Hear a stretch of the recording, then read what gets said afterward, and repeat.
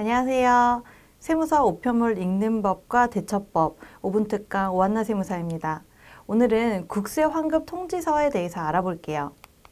네, 납세자로서 세금을 내다 보면은 냈던 세금을 돌려받는 경우가 생기는데요. 이를 국세 환급금이라고 합니다.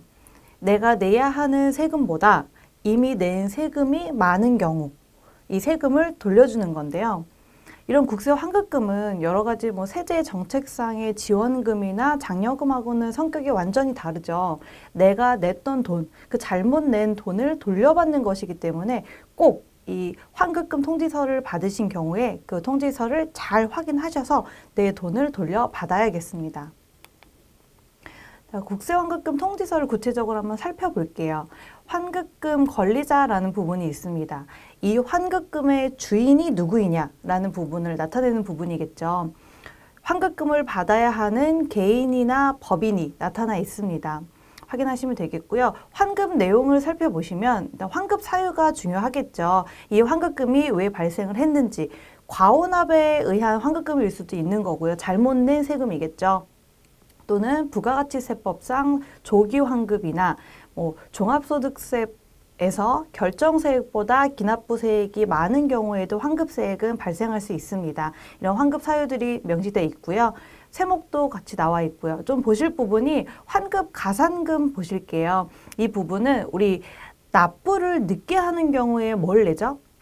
그 납부 지연에 대한 납부 불성실 가산세, 가산세를 같이 내잖아요. 같은 성격으로 이 환급을 받을 때에도 그 환급금에 대한 이자 성격의 환급 가산금을 더해서 받는 경우가 있습니다.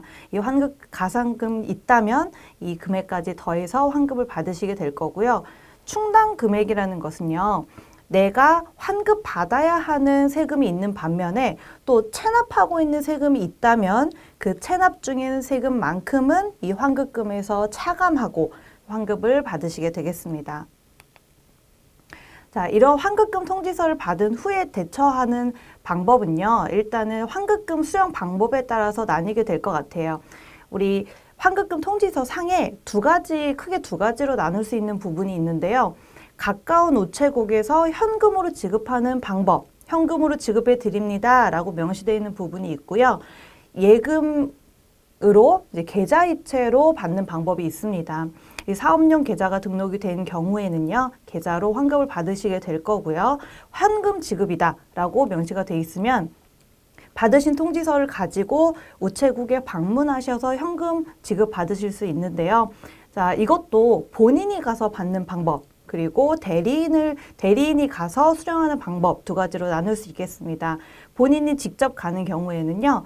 우리 본인의 신분증 그리고 받으신 환급금 통지서 법인이라면 법인 인감 증명서 그리고 3개월 이내 발급받은 사업자 등록증 가지고 가셔서 수령하시면 되겠고요. 대리인이 갈 경우에는 먼저 말씀드린 서류 그리고 대리인의 신분증과 위임증 챙겨 가시면 되겠습니다. 자, 오늘은 국세 환급금에 대해서 알아봤습니다. 5분 특강 오한나 세무사였습니다.